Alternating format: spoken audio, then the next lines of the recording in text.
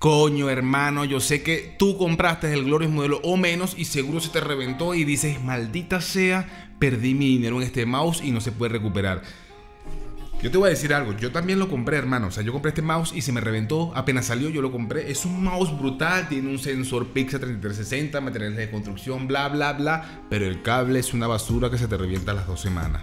Entonces, este video lo hago porque básicamente muchos de ustedes que lo adquirieron y se les reventó eh, están pensando comprar el cable aparte que tiene un costo de 15 dólares. Hermano, 15 dólares por un maldito cable.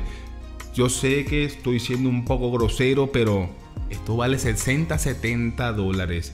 Y a muchos de ustedes que invirtieron dinero para adquirir un periférico que les dé un buen funcionamiento, un buen rendimiento y sobre todo durabilidad a través de los años, se les revienta a las dos semanas, hermano, eso le quita la ilusión a cualquiera. Así que en el video de hoy me dediqué básicamente a abrir todo el cable para encontrar la falla para ver si tiene una solución y si podemos revivir este mouse de nuevo. Y la cosa es que sí se puede revivir y no tiene mucho inconveniente hacerlo. Quédate aquí para que lo veas.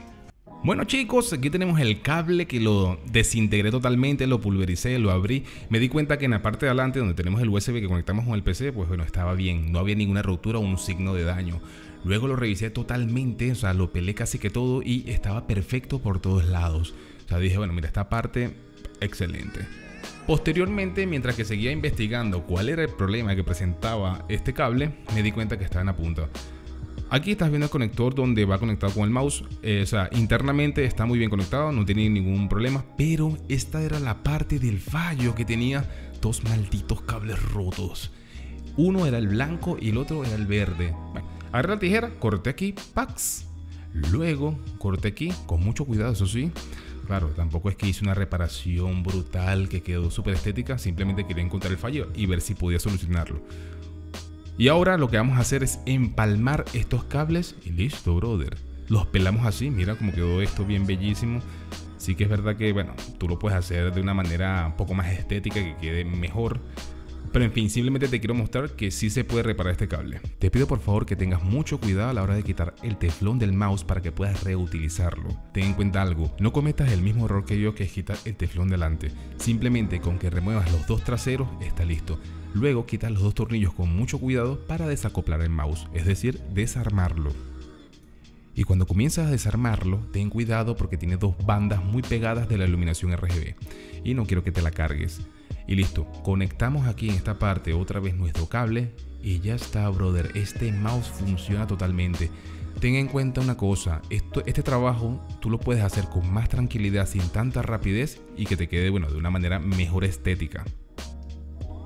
El mouse quedó como si viniera de la guerra prácticamente porque lo destrocé todo, o sea, el cable lo volví una mierda, pero encontré la falla. Pero la parte que más me daba miedo era brother, a la hora de conectarlo, ¿será que va a funcionar no va a funcionar? Pero mira, checa, el mouse funcionó perfecto, tanto la iluminación RGB como el sensor.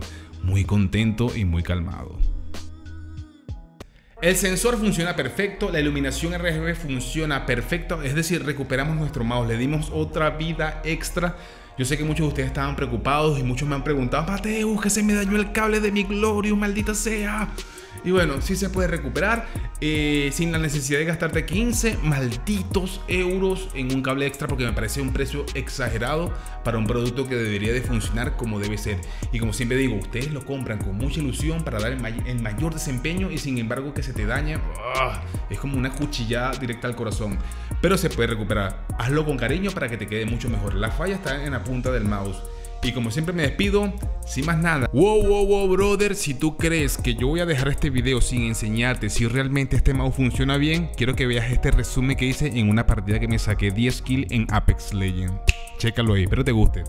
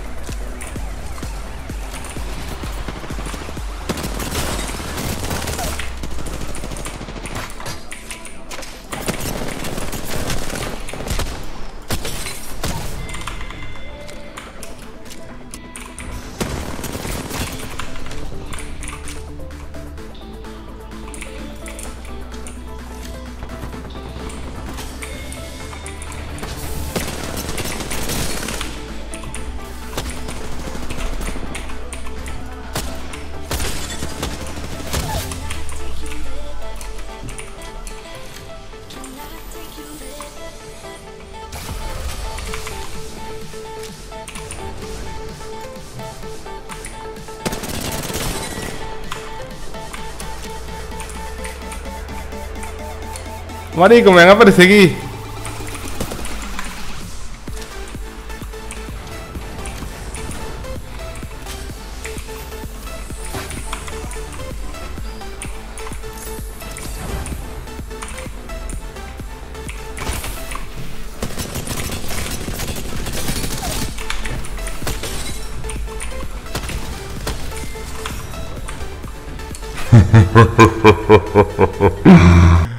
Ay, vale. Esta semana les voy a traer una sorpresa brutal de algo que me llegó.